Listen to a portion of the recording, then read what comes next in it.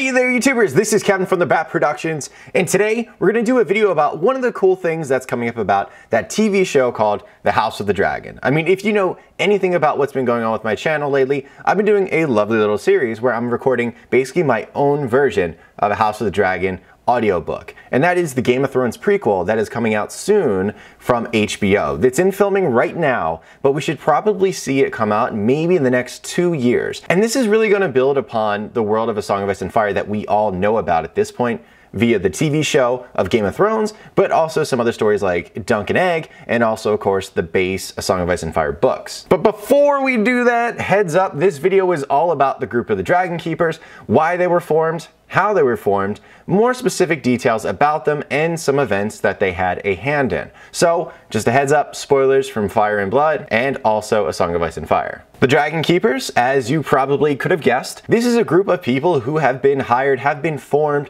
specifically so that they could take care of the dragons that are located in the Dragon's Pit of King's Landing and also, of course, located on Dragonstone. This is their sole responsibility. It is for them to watch over these dragons. I know you're thinking yourself, why would dragons need any kind of watching over? They're dragons. And not only are they responsible for the adult dragons, but also they have a responsibility and a duty to take care of the individual dragon eggs that have not hatched yet. Obviously, when you have a dynasty that is built on dragons, it's important to keep your most valuable asset locked down with a very dedicated group, a la a Kingsguard, for the king. The Dragon Keepers were first formed in 56 AC or after conquest by Jaehaerys I Targaryen after he experienced the unfortunate circumstance of Aerea Targaryen stealing the famed dragon Balerion the Dread and flying it to Valyria. That's like losing a nuclear missile out in the world. Not a good thing. So you can understand why Jaehaerys I said, alright, enough. Or maybe it was seeing dear Aerea Targaryen returning from Valyria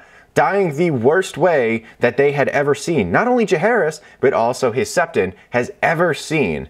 And perhaps that moved his heart to the point where he said this no longer can be accepted. So thus, the Order of the Dragon Keepers was formed under Jaehaerys I Targaryen. And this order has very specific numbers as far as its membership goes, kind of like a Kingsguard, how they can only have a max of seven people. This has a much higher and different number, which is 77 members at one time. And I would think it's necessary to have a number of people that high because not only do they have the unfortunate incidents working with dragons, but also they have to take care of the dragon pit located near King's Landing, and they also have to be on Dragonstone, and they watch over the dragons and eggs day and night. It is a 24-7 kind of job. So they need a lot of people that they can shift out. Now it's actually not written in any of the sources as to one or more of the members of the Dragon Keepers by name. However, if I know Jaehaerys I, as I think I do, I would have to imagine that it is mostly comprised of people who had vied for the role of Kingsguard when he initially ascended into the throne, but unfortunately did not get it, or also these other characters that have Valyrian blood in them in the hopes that the dragons would be able to form a better bond or relationship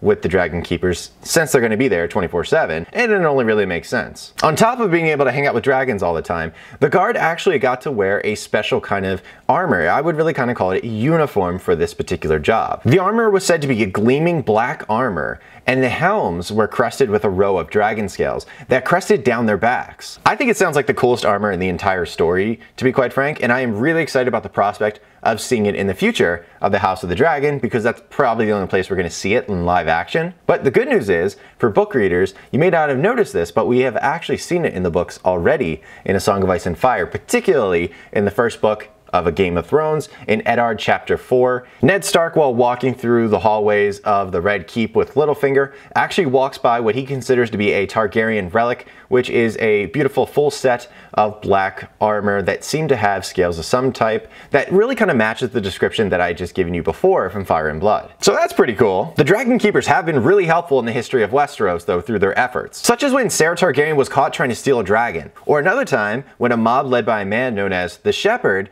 stormed the Dragon Pit and was taken down by 50 members of the Dragon Keepers. I mean, that's an instance where they had one job and they did it. And it is known that other than the dragon riders themselves, they were known more intimately with the dragons than anyone else. They know more about what the dragons needed and how they felt and bonded with them pretty much more than anyone. I mean, that's what happens when you're with these magic creatures 24 7. As I had said before, we don't know the names of any of these dragon keepers, unfortunately. We may find out a little bit more about them as House of the Dragon unfolds, and we can learn about these dragon babysitters in their shimmering black armor. And I would totally volunteer to be a dragon keeper, by the way. How fun would it be hanging around dragons? I mean, don't get me wrong, there's a big hazard in dragons being involved in my life, but I think that as long as uh, I feed them every day, they'll basically love me just like my dog does, because they know I provide them food. I'm not really surprised I've come to this conclusion. After all, when I used to play Yu-Gi-Oh all the time, I always ran a Kaiba deck, so I think liking dragons just kind of comes naturally to me.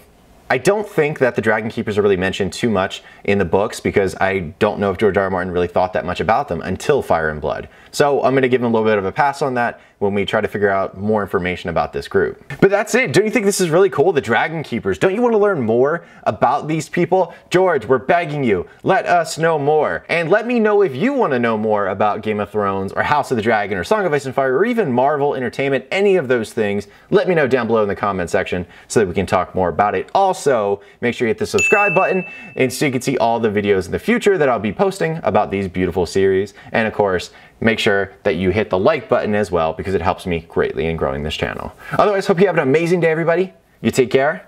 Goodbye.